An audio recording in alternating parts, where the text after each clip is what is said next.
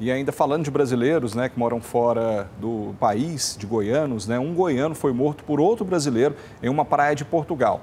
Bruno Ribeiro estava em uma lanchonete quando teria se envolvido em uma discussão.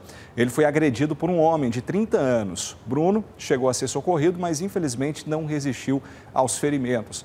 A polícia de Portugal prendeu em flagrante o autor. Ao vivo, nós vamos conversar agora com o Vitor Venâncio, ele que é primo do Bruno. Primeiramente, Vitor, nossos sentimentos para a família, né? Eu imagino que depois de cinco anos aí do seu primo vivendo fora do país, não era dessa forma que vocês queriam se reencontrar com ele, né? Boa noite para você.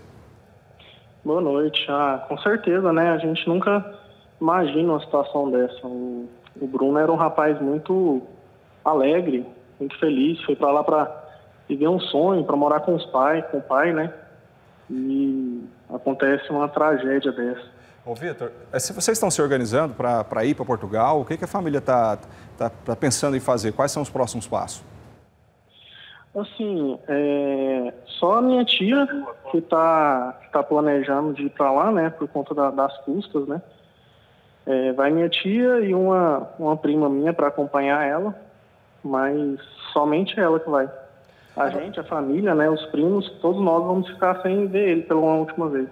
Agora, Victor, é, vocês já têm informação desse homem, um outro brasileiro, eram conhecidos, eram colegas? Como que isso teria acontecido? A polícia chegou a passar alguma informação? Por enquanto não. Tudo que a gente tem é matéria de jornal de lá que a gente vê, né? Algum, alguns jornais falam que ele bateu a cabeça ao cair, outros jornais falam que ele foi espancado até a morte. Tá tudo muito incerto ainda, né? A gente não tem uma notícia mais concreta. A gente sabe que o fato foi que ele foi espancado por, por um agressor lá, mas a gente não tem essa informação ainda. O, o homem já foi preso, o agressor, né? Na verdade, a pessoa que matou né, o seu primo, mas vocês sabem se eles tinham alguma relação de amizade, se eles se conheciam ou não? Eles se conheceram naquele dia?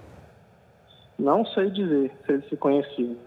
Ô, Vitor, é o seguinte, esse, essa briga né, aconteceu na praia de Carcavelos, que fica entre Cascais e Lisboa, no meio do caminho. Ele trabalhava lá nessa região, porque é uma região, um balneário, enfim, um lugar bastante turístico. Ele trabalhava ou ele estava passando o fim de semana, que é uma região de praia também, muito conhecida lá em Portugal? Isso não, ele trabalhava lá na região como motoboy. Agora, ele trabalhava lá na região. Pode continuar, pode continuar.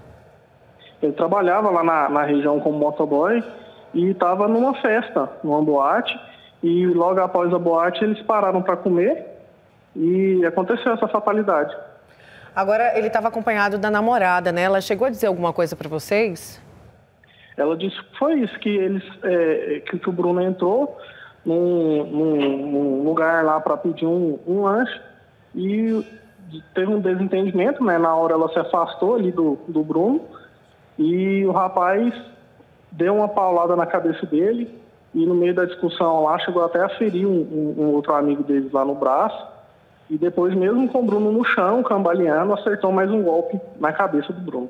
Ô, Vitor, vocês já procuraram a Embaixada do Brasil lá em Lisboa e, além disso, vocês vão sepultar o seu primo lá, lá em Portugal ou vocês pretendem trazer o corpo para cá? Não, vai ser sepultado lá mesmo. A gente decidiu isso. A gente não conseguiu contato ainda com a Embaixada, né? Porque está correndo a investigação lá ainda, então a gente não tem essas informações. É isso aí. Tá certo, Victor. Obrigado pelas informações, mais uma vez nossos sentimentos e conte aí com a nossa ajuda para o que precisar.